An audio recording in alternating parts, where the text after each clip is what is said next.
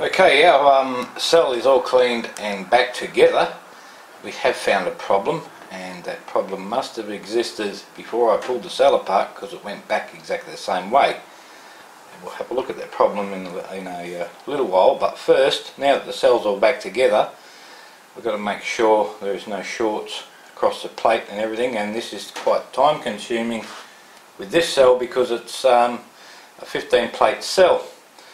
So we have to make sure that every plate is isolated from one another. So uh, you're going to have to um, do your 15 by 15 times uh, probe placements across each individual cell. But uh, what I'm going to do here is I'm going to just check between this end plate here and all the bolts which is the most likeliest plate will get a short because all our bolts had uh, rubber sleeves over them and the rubber sleeves ended very close to this end plate. So um, all we've got is our digital multimeter set on our little um, short beeping thing. Or it's a uh, continuity test. And um, just gives us a little beep if there is a short. So if we put on the end plate over here we can hear our short. So I'm just going to check between the end plate and all the bolts here these are all stainless steel bolts of course. Darrell went to a lot of trouble making this cell as best he could and it is an absolutely fine job indeed. Okay, so there's no shorts there. We can be uh, pretty sure there's not going to be um, any shorts across any of the plates um, if there is not one between the end plate and any of the bolts.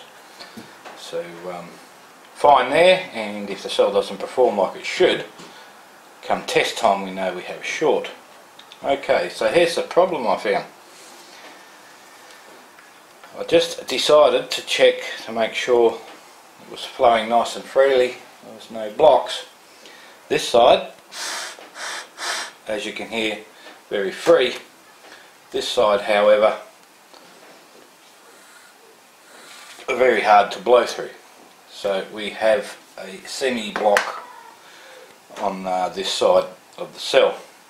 The centre plate, the reason it doesn't flow from one side to the other, the centre plate is solid, it has no holes um, because this is designed to be two individual cells um, in one and the reason, there's a reason for that kind of design, we'll have a look at that later and I'll show you why um, but there is still a potential problem that you can't get away from even with this design.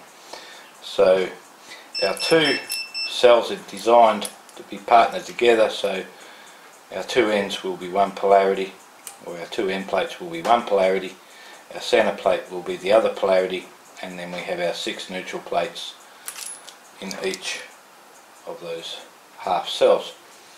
First we've got to find what the problem is here and because this inlet is directly over a hole we can safely assume that that is not the problem so I'm hoping the problem is this, that's actually the outlet, sorry. I'm hoping the problem is this gas inlet fitting has been screwed too far in and is very close to our um, plate and um, it's blocking the hole off because the fluid goes in here, hits the plate um, and this section will fill up and the water will flow out through the hole there into the next um, neutral section of our cell. So I'm hoping that this is screwed in too far and is too close to the plate and that is why there is not a very good flow through that half of the cell. So I'm going to go and undo it, check it out and uh, we'll come back and see if that fixed the problem. Okay, so um, as expected it was that fitting that was too close to the plate and uh, that's what was um, blocking our flow through the um, this half of the cell. As you can see I've got some thread tape on there now and I haven't screwed it in quite as far.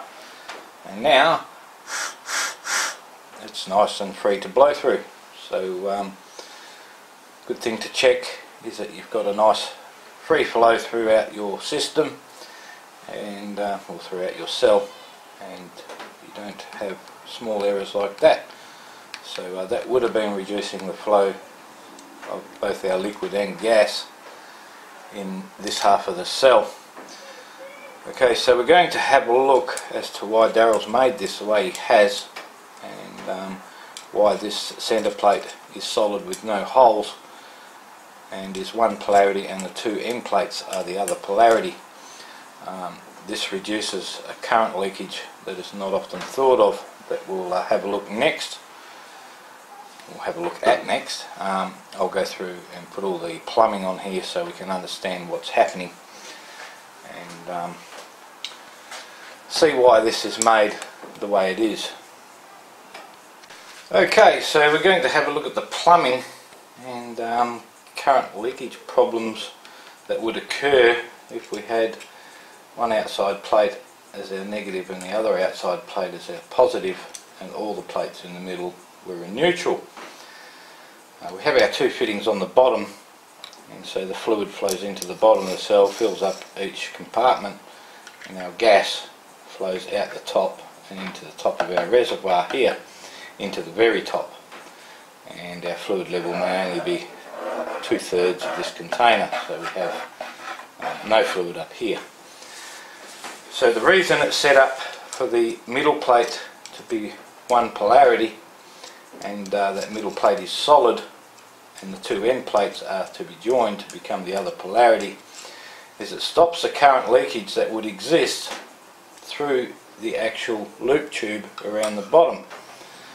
So um, if we had a uh, negative here and a positive here um, we would get the current leakage going through, through the uh, liquid on the uh, loop that joins the two sides. Um, that is to ensure um, a balance between the cells.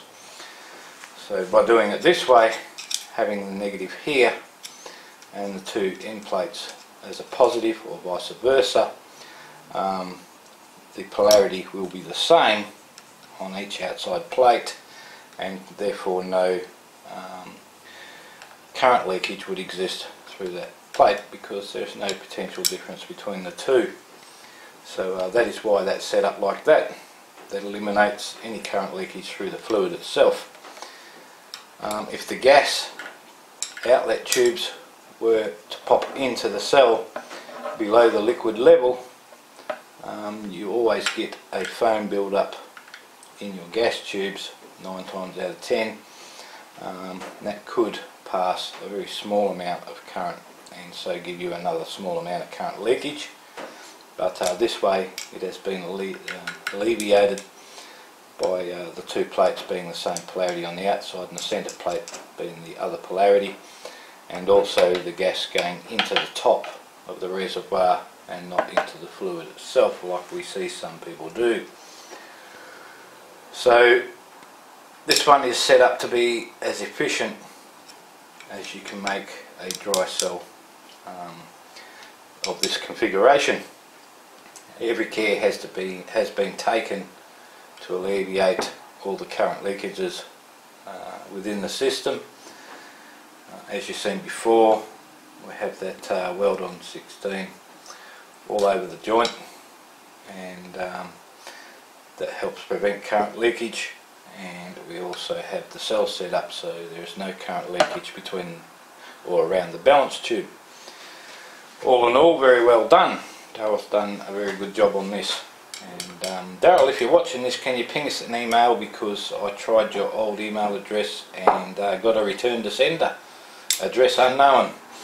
Um, Alright, so our next part of the uh, project is to uh, set up a test bench and plumb all this up and the first thing we're going to do once that is done is we're going to get um, some MMW values using straight DC which will give us a benchmark for this cell.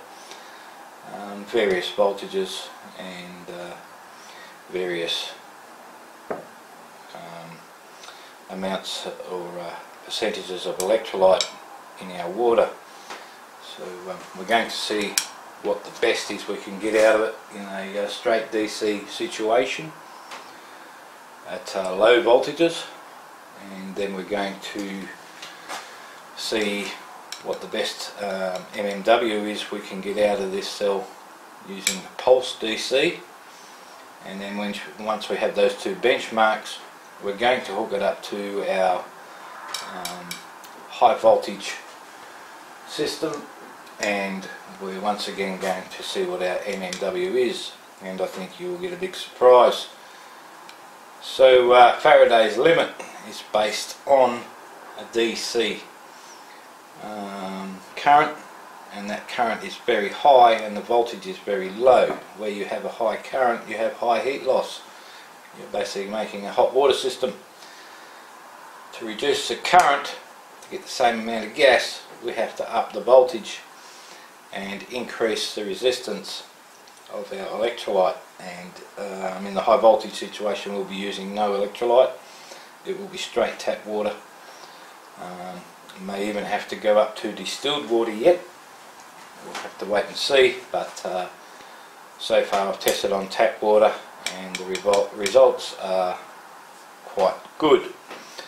And of course if we reduce the temperature in our cell or in our electrolyte we reduce uh, steam which um, a lot of people get their cells really hot and half of what they're reading coming out of the cell is steam and not HHO. We will be keeping the temperature right down to just above uh, around 20 22 degrees Celsius. So um, very low. And the reason for that is high voltage low current. Low current less heat. Alright, so uh, we'll see you next video when this will be all set up and we'll be ready to do some testing on um, straight DC current and see how our MMW stacks up with this cell.